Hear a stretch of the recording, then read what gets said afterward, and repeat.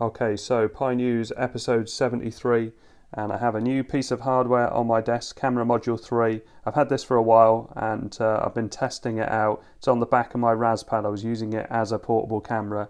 So, more on that camera in a minute, but uh, first of all, I wanted to start off with this interview that uh, Chris from Explaining Computers did with Eben Upton, the CEO of Raspberry Pi Foundation.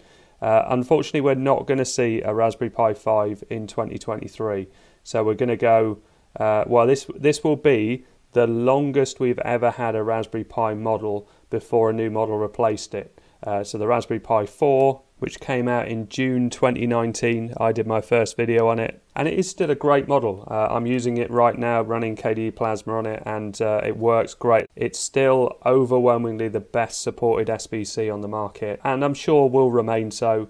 So we're going to have to wait a long time for the Raspberry Pi 5 but uh, I'm sure it'll be great when it comes out and I can't wait to try things on it, but I'm going to have to. So let's have another look at that camera. I've just been charging up my Raspad.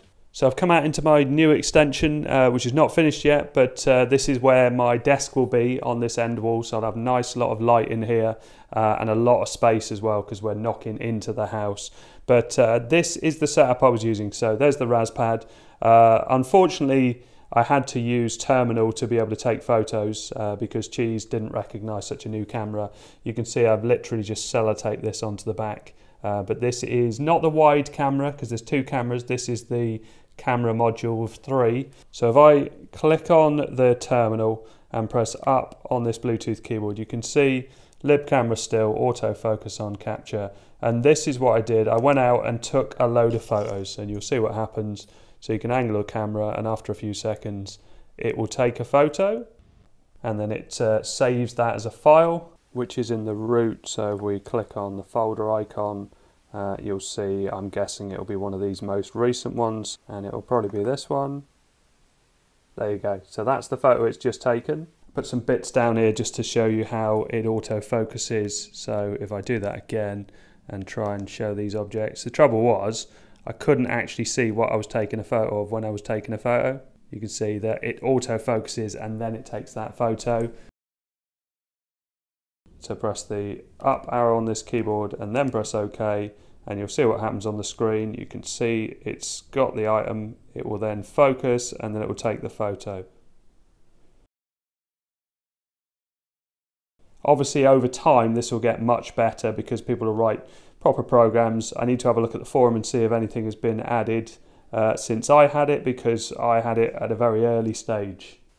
And this is the story from today actually. Uh, it's just been announced, so 9th of January. So let's click on it. New autofocus camera modules. So starting at the familiar price of $25 with both visible light and infrared sensitive options with a standard and a wide view. Autofocus makes a huge difference to the overall sharpness of the image. 5 centimeters to infinity and they've got some videos on it on their site as well. So made by Sony 12 megapixels. So to higher resolution and bigger pixels. So it must be a bigger sensor to be able to deliver that. And the bigger sensor means that it captures more natural light so you usually find they're better in low light situations. Oh and it says that on there and there's a couple of images here to show the difference between the standard and the wide angle camera. So obviously depending on what you're using it for. So things like security cameras, that wide angle camera is going to be really good. Be great to see uh, support in motionEyeOS. But I'll put a link to this story in the description. Next up, uh, from CNX Software, LapPi 2, a DIY laptop for Raspberry Pi 4 and other single board computers. So let's have a look at this. So you can see it's all transparent. It's got a trackpad on the keyboard here pretty small display, 7 inch display, some very big speakers compared to the display. Uh, what we're looking at 1024 by 600 resolution, has a camera as well. Oh yeah, the camera's underneath the display and there's details about the batteries and everything else. If you're looking to build your own laptop, there's a video as well that I'll link. And next up from Tom's Hardware, Raspberry Pi Pico makes SD stored games playable on a PlayStation 1 console. Now what this is doing is using the original hardware. So I've got an original PlayStation 1, but I generally use emulation, and I like to use emulation like DuckStation because you can upscale the resolution and it does look a lot better. Some of the original PlayStation games looked quite ropey because it was very early stages of 3D, but if you upscale them, they do look really good. But if you want to play it in the original as intended. Maybe you've got a CRT monitor and you want to see it exactly as it was. Uh, this is very, very clever. So it tricks it into thinking it's the original disc but plays from a micro SD card. Great work. There you go. Pico Station. We've got a board here with the Pico on it. The micro SD. I like this sort of thing. So Hackster.io, uh, resurrecting a childhood radio with a Raspberry Pi. So I used to work uh, back in the 80s for an electrical store, an independent one that used to sell Roberts radios, but also there was a lot of this sort of radio knocking about. And uh, there's not that much use for them now because they're not digital and you know we, we're so used to having so much choice. And this has been resurrected with a Raspberry Pi.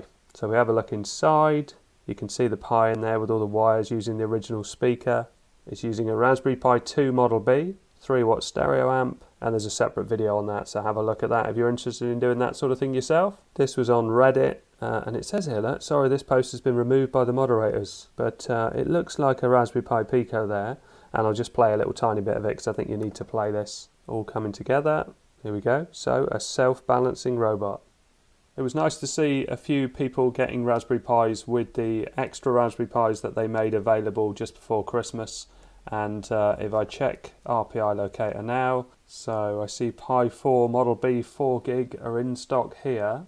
Uh, I don't know if MX is Mexico, is it? Let's check that out. Uh, so if we click on here, 1916. Okay, so around £82. I guess that makes sense. Next up was this cool story involving Lego. Uh, and I let out recently when the uh, lady selling us a kitchen was telling me that the something like the outside of the drawers are made of the same material as Lego. So assembly of Lego computer display block with built-in Pi RP2040 display and capacitive touch sensors. So here is one of those. Uh, I used to have it in some Lego space uh, where it was like a computer screen, like a computer monitor. You can see very, very tiny and intricate. And here it is, look, with the display running. It just looks so cool. And I'm sure I saw another story with it running Doom or something. And here's a nice story on Reddit about using the GPIO pins to use paddles with a Pong game. So with paddles, it's like a wheel that you turn around uh, so you've got proper analog control and for certain games it really does work nicely. And you can see there's uh, various different details about the circuitry and how it's set up and there is a github here as well and a wiring diagram. Another pico on reddit and this is a 1.3 inch lcd clock.